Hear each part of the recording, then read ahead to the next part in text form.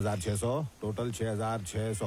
ठीक है हिसाब क्लियर हो गया पुष्पा? तेरा हिसाब तो सलट गया रे पर मेरे हिसाब का क्या? कौन सा हिसाब बे हम्म, जब कर्जा लिया था तो पूरे गाँव में जाके बुराई किया था। हाँ। अब चुका दिया है तो जा तारीफ़ कर। ओ ऐसा है क्या?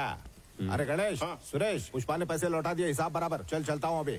हमरे कल जो लोग जमा थे वो इधर है क्या? हाँ। उन लोग के घर कौन जाएगा? क्या मतलब? ए गणया कल सबके नाम का हाजिरी लगाया था ना?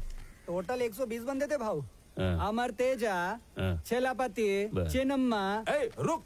क्या बात करता है? इन सबके घर पे जाना पड़ेगा। पागल है